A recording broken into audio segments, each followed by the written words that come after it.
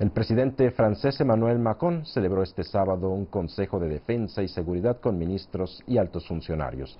La reunión se realizó un día después de que un pistolero islamista matara a cuatro personas en un ataque en el suroeste del país. El Estado Islámico se ha atribuido la responsabilidad del ataque. Mientras tanto, Macron afirmó que los servicios de seguridad están verificando la autoría del atentado.